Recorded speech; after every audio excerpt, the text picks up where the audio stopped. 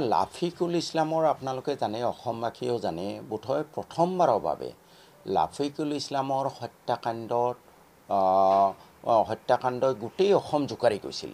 ধৰ্ম বৰ্ণ ঠাই নিৰ্বিশেষে প্ৰত্যেক মানুহেই এই লাফিকুলৰ হত্যাকাণ্ডত দুখ পাইছিলে আৰু প্ৰতিবাদ কৰিছিলে।